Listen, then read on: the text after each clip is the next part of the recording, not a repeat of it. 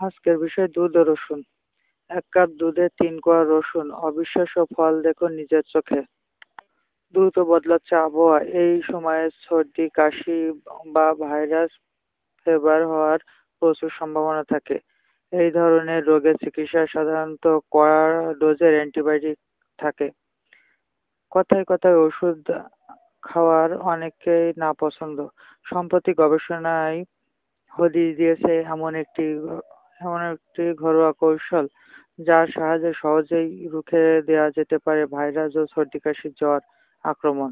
শুধু তাই নয়, এই সমস্যার বাতের ব্যথাও প্রতিরোধ ব্যবস্থা গড়ে তোলে। এটা বানানোর জন্য প্রয়োজন কেবল এক কাপ দুধ, তিন কোয়া রসুন, এক চামচ হলুদের গুঁড়া, প্রয়োজন মতো চিনি ও পরিমাণ মতো পানি। প্রথমে দুধ, পানি মিশিয়ে একটু পাতলা করে নিন। এর মধ্যে রসুনের কোয়াগুলো থেতলে, ফেলে ফোটান।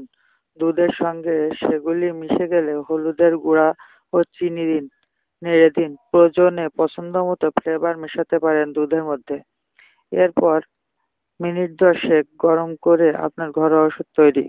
বিশেষ পানীয় শুধু সে সর্দি কাশি প্রতিরোধে হিসেবে কাজ করে, তা নয়। রসুন দুধ এনজাইম প্রতিরোধ এনজাইম প্রতিরোধেও কাজ, কাজে আসে।